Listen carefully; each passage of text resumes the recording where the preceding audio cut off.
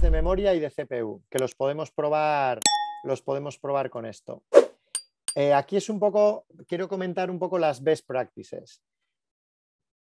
Mm, bueno, ¿y qué es lo que pasa? Con los límites de CPU normalmente no pasa, nada, no pasa nada grave de que el contenedor muera. Simplemente va a tener cuota de CPU y no va a poder usar más ciclos de CPU del que quiera. Y el propio kernel, la máquina, va a ser la que paralice un poco al contenedor si estaba intentando usar mucha CPU. ¿Qué es lo que pasa con los límites de memoria? Si definimos un límite de memoria, en el momento en que nuestro proceso intenta usar más memoria, Docker lo va a matar. Directamente lo va a matar el contenedor. Y esto es normal, ¿vale? Es como, como se maneja normalmente la memoria.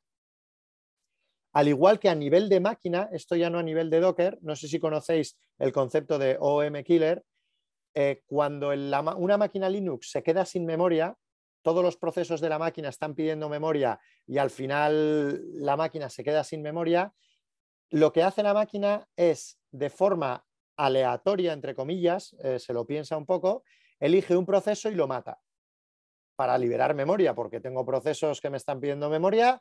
Eh, tú estás ocupando 4 gigas de memoria, pues mira, te mato y que sea lo que Dios quiera y yo ya tengo memoria para el resto de procesos que me están pidiendo. Eso se llama un OM, un Out of Memory Killer, ¿vale? Del kernel, que los podemos ver. Eh, bueno, cuando pasa esto en una máquina, quiere decir que algo está muy mal dimensionado, que algo está fuera de control y son problemas eh, problemas serios que, hay que, hay que, solucionarlo antes de, mirar la, aplicación. ¿Vale? Bueno, hay que mirar que igual es la aplicación que está cogiendo demasiada memoria o lo que sea. Eh, y siempre se recomienda establecer límites de memoria y de CPU. ¿Por qué? Para tener un performance, eh, un performance que puedas predecir ¿vale? en vuestras aplicaciones. Normalmente cuando trabajemos con Docker en forma local o en test no haremos esto, pero cuando diseñemos cargas de trabajo, diseñemos aplicaciones que van a ir en entornos productivos, pues tanto las pruebas como todo tienen que ir con, con recursos claros. ¿Por qué?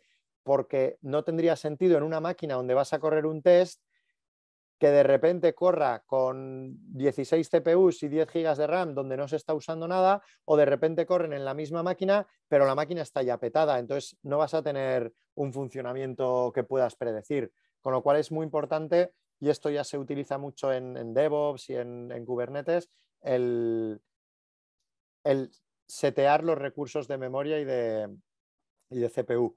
Y ya os digo, en Docker durante todo este módulo nos va a dar igual, pero el mismo concepto lo vamos a aplicar a través de Kubernetes. ¿vale? Lo haremos después cuando orquestemos nuestros contenedores. Pero ahora en Docker eh, normalmente pues no nos vamos a preocupar.